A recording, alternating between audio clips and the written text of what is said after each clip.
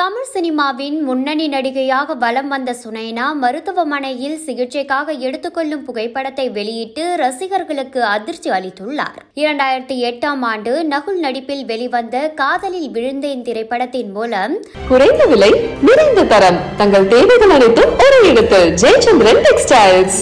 தமிழ் சினிமாவில் அறிமுகமான சுனைனா முதல் படத்திலேயே பாராட்டுகளை அள்ளினார். தொடர்ந்து மாசிலாமணி யாதுமாகி வம்சம் நீர்ப்பறவை தெறி எண்ணி நோக்கி பாயும் தோட்டா.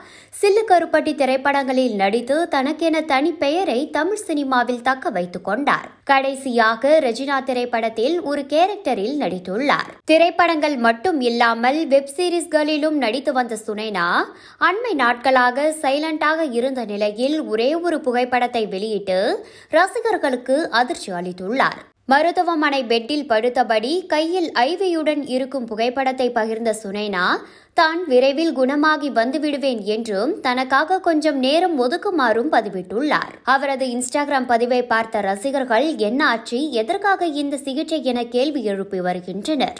சுனைனாவுக்கு என்ன நடந்தது என்று தெரியவில்லை என்றாலும் அவர் விரைவில் குணமாக வேண்டும் என்று கருத்துக்கள் பகிரப்பட்டு வருகிறது. அண்மை காலமாக நடிகைகள் தங்களுக்கு இருக்கும் உடல்நலக் குறைவு குறித்து பொதுவெளியில் பகிர்ந்து வருகின்றனர். கடந்த சில மாதங்களுக்கு முன்பு நடிகை சமந்தா தான் மயோசிட்டிஸ் நோயால் பாதிக்கப்பட்டிருந்ததை குறிப்பிட்டு அதிர்ச்சி அளித்தார்.